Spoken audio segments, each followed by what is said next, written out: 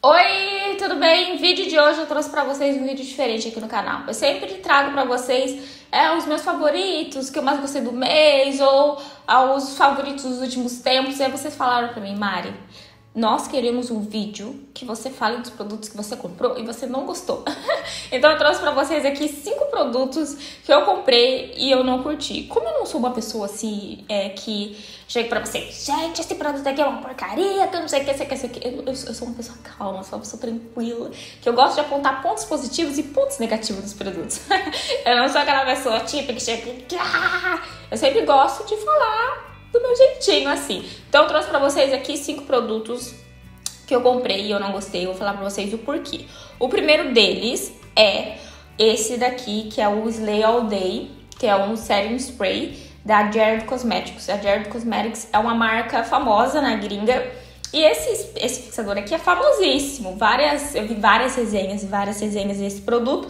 E todo mundo falava que ele era maravilhoso, que ele segurava um pouco a oleosidade, tal, tal, tal, tal, tal, tal, tal. Eu sempre tive problema com fixador, sempre falei isso pra vocês. Eu usava fixador, fixador, fixador e nunca funcionava. Falei, gente, será que o problema é os, são os fixadores que eu, que eu estou usando? Eu falei, vou comprar o mais carinho. Comprei esse fixador aqui, mais carinho, se não me engano, paguei 22 dólares nele. Ele vem 100 ml de produto. E já Tá aqui já, testei 425 milhões de vezes e eu não, não fixou a minha maquiagem, não segurou a minha oleosidade. Assim, ele é. Às vezes eu, eu comparo um lado com o outro, às vezes, tipo assim, eu aplico só de um lado. E o outro lado que eu apliquei ele, ele tá um pouquinho mais bonito, sabe? Sabe, tipo assim, 0,1%. Então, pra mim, não, não, valeu muito a pena. Eu uso porque eu comprei, paguei 22 dólares, achei caríssimo e vou usar até o final, mas não vejo diferença, eu ainda não vejo diferença em fixadores. Não sei o que acontece, se é só na minha pele, porque a minha pele é extremamente oleosa, assim, os fixadores não fazem efeito, mas eu não sinto diferença em fixador de maquiagem. Não sinto, esse daqui eu paguei caríssimo e não senti diferença nenhuma, então me arrependi de ter comprado esse produto aqui. Não, não é que eu me arrependi, assim. É que, tipo assim, não valeu a pena. Porque eu, eu como faço isso da vida, né? Eu, eu testo produtos de maquiagem, então não, não seria falar. Não seria certo falar pra vocês que eu me arrependi, mas não curti. É mais fácil falar que eu não curti. O segundo produto é essa base aqui da Boca Rosa. É, a minha cor é a cor Fernanda. Eu tenho outra cor dessa base, eu já falei pra vocês. Lá no meu Instagram tem um destaque que eu mostro pra vocês a diferença da consistência dessa, dessa base. E eu tenho uma resenha aqui no canal bem explicadinha porquê que eu não gostei dessa base. Essa base que eu tenho aqui, ela é extremamente fluida. É uma base que ela não tem cobertura nenhuma. Ela é extremamente fluida. Ela, eu passo, no cobre, passo no cobre, passo no cobre, e ela tem um fundinho meio esverdeado. Então, infelizmente, e o, o que me deixou mais triste nessa base aqui é que foi meu primeiro produto da Paiô, eu nunca consumi a marca, é, já falei isso pra vocês algumas vezes. A Paiô, eu nunca me senti representada pela Paiô, eu sempre achei uma marca que nunca teve maquiagem para mim, nunca fez maquiagem para mim. Eu entrava no Instagram da marca, a representatividade da marca era praticamente zero, então não era uma marca que eu que eu consumia, que eu gastava o meu dinheiro. Aí quando a Bia fez a base, eu falei assim, não, vou, vou comprar, porque eu gosto de comprar coisas das blogueiras, eu sempre falei isso pra vocês. Gosto de apoiar. E aí comprei, e aí a primeira vez que eu apliquei no rosto, falei, gente, o que que tá acontecendo? Essa base não cobre? Todo mundo falando que é um puro reboco. Aí eu falei, como assim? Aí eu, de outro dia, eu fui no shopping e comprei a cor mais clara pra ver se era só a minha base que tava com problema. E são duas bases diferentes. Tem a cor Fernanda, não, a cor Francisca também. São duas bases totalmente diferentes. E aí eu fui mandei uma mensagem pro saque da marca, é, explicando a minha situação, que eu comprei uma base, que eu comprei duas bases, e, as, e essa base aqui era extremamente fluida, ela não cobria, ela não tinha consistência, ela não segurava na minha pele, era um, um produto, parecia que era um produto meio que estragado, que sei lá o que aconteceu. A marca não me respondeu até hoje, já faz, sei lá, quantos meses, e eu fiquei chateada porque quando você faz uma reclamação no saque de uma empresa, a marca tem que te responder. Entendeu? Eu, nessa minha vida de 30 anos aí, tudo que eu comprei, fiz alguma reclamação num saco de alguma empresa, a marca entra em contato com você, fala, ó, oh, isso aconteceu, tal, tal, tal, tal, tal, tal, tal. Tipo, pai, eu nem me deu bola. Entendeu? Assim, caguei pra você. Aí, fazer o quê, né? Então, estou aqui com um produto que não funciona, que a marca cagou pra mim. Falou assim pra mim, querida, até hoje a marca não deu uma justificativa para a diferença da consistência das bases. Fiquei extremamente decepcionada. extremamente decepcionada. Então, se eu já não consumi a marca antes, agora que eu não vou consumir nunca mais. nunca mais. É uma marca que eu nunca recomendei para vocês aqui. É... Nunca vou recomendar. Não recomendo essa base. Com certeza foi uma das maiores frustrações da, da de maquiagem desses últimos tempos. Foi essa base aqui. É, não gosto, a base tem uma cobertura péssima, ela é super fluida, ela não cobre nada, ela não segura e ainda ela é meio esverdeada. Então, não tem. Infeliz, o único ponto positivo dessa base, para ser bem, bem, bem, bem sincera, é que ela transfere muito pouco. Só. Só. Mas pra você pagar 45 reais uma base que transfere muito pouco. Algumas meninas me falaram que é, essa base mudou, que a marca consertou e tal, tal, tal, tal, tal. Mas eu falei, essa marca nem se deu trabalho de me responder. Uma consumidora que gastou 90 reais consumindo os produtos, para que, que eu vou comprar a base de novo? Não vou comprar então, vocês que estão me pedindo, não terei, não terá resenha nova.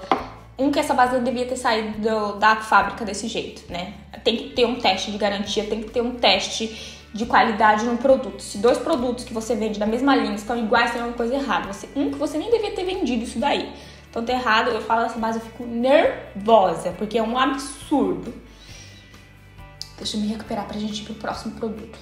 Próximo produto é esse primer aqui, esse primer da L'Oreal, o Infallible Matte Lock, que é uma, aqui fala base matificante, que é um primer matificante. Tudo que é matificante, vocês sabem que tipo, uhul, falou mate, tá a Marisa lá comprando.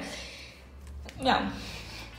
Eu já testei ele várias vezes, várias vezes, de vários jeitos diferentes, com várias bases e não, não, não, não, não vejo diferença. Não vejo diferença. Eu divido um lado do outro e assim, a diferença é pouquíssima, pouquíssima, pouquíssima, pouquíssima. Assim, me decepcionei. Ele tá aqui, ó. Se eu não me engano, eu usei muito esse primer porque eu falei, não é possível que a marca fala que é um primer matificante na minha pele e não fica. Óbvio que teve peles, provavelmente, que funcionou e tal. Na minha pele, extremamente oleosa, que transpira bastante, esse primer não funcionou. Eu paguei nele 10 dólares, não, não paguei tão caro. Mas se eu converter por dólar de hoje, né? No, mini absurdo que estamos vivendo, dá os que? 50, 53? 53, 54, 54 reais. É, não é um produto muito caro, mas hum, não, não curti, sabe? Não, não, não matifica praticamente nada a minha pele. Um outro produto que eu vim mostrar pra vocês é essa paletinha aqui da Naked Heat da Urban Decay. Eu já tinha testado algumas paletas da Urban Decay é aquelas que. Como que era o nome? As Naked, né? Tá aqui escrito Naked. As Naked. E eu, eu passava nas minhas pálpebras, nunca pigmentou muito bem. Então nunca, nunca fiquei muito fã dessas paletas da, da Decay, porque as Naked elas não pigmentavam muito na minha pele. Aí eu vi uma resenha na internet falando que ah, era legal você comprar Naked Heat porque para você testar e tudo mais. Aí eu fui dar uma chance para as Nakeds e aí eu comprei a Naked Heat Petite. Nessa, sombra, nessa paleta tem uma, duas, três, quatro, cinco, seis, seis sombras. Eu uso duas sombras, essas duas aqui. As outras duas cores, elas são cores mais clarinhas e tal. Eu tenho paletas aqui, por exemplo, a paleta da Marissa a paleta da Bruno Tavares, aquela paleta Baratex da Ruby Rose, pigmentam mais que essa paleta aqui. Então não acho que vale a pena, até porque eu só uso duas cores dela.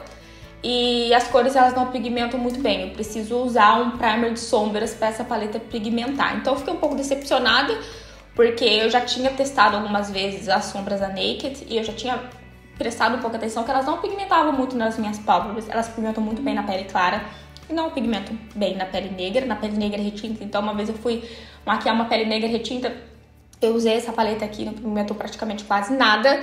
Então, você precisa passar uma camada de corretivo mais claro, você precisa passar um, primer de sombras para poder pigmentar. Então, não curti muito, apesar que eu amo essas duas cores, essa cor aqui é apaixonante, eu uso sempre, mas aí eu uso um primer de sombras e aí eu venho com, com essa depois. Então acho que não, não vale a pena, assim, sabe? Não, não curti muito. Gosto, mas não curti. Eu paguei nela 30 dólares. Prefiro as paletinhas da Marisade, prefiro as paletinhas da Bruna, da Bruna Tavares, por exemplo, que são bem mais pigmentadas e pigmentam muito bem no meu tom de pele. Último produto é esse daqui, o Jelly Bean da Farsalia. Foi meu primeiro produto da Farsalia. Eu comprei ele na época que a Farsalia tava bombando nesse produto. Eu falei, vou comprar pra testar. É um iluminador em, gel... em, em, em geleia, gelatina, não sei. Ele é meio... Ah, ele é lindo, maravilhoso, só que ele não é prático. Por quê? Porque como ele é muito, muito é, aguadinho, ele desanda a base. Então você tem que saber aplicar ele. É, ele desanda, ele, às vezes ele desanda a base, ele não tem um fundo muito. Ele tem um fundo meio prateado, então às vezes acinzenta na pele negra. Então você tem que saber usar esse produto. Então é um produto que eu gastei 40 dólares nele, carinho, caríssimo, carérrimo.